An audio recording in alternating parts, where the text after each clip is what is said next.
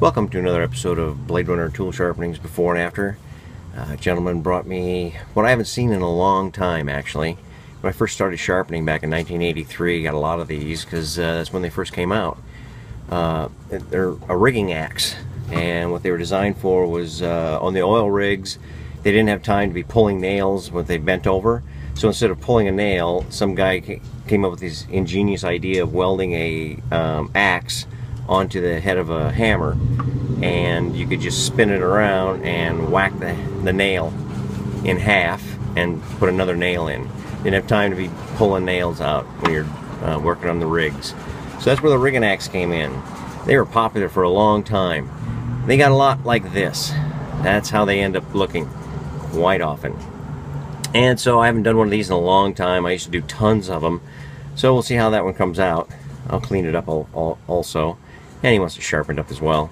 Probably be using it more for uh, camping and that sort of thing. But um, there you have it. Kind of a little history of. Uh, oh, and then um, the uh, uh companies like Vaughan got involved and uh, started making them by the bucket loads. And then, of course, it got started getting accidents, so OSHA stepped in, and now I hardly ever see them at all. So I'll fix this one up and uh, grandfather this bad boy in and uh, see you when I get back. Okay, we're back, and that um, rigging axe I was telling you about a little bit earlier, well, I finished that. Took me quite a while to get it knocked out, but that edge came out pretty sweet. I really like those edges on that. That polished up really nice. You can really hack those nails off of that.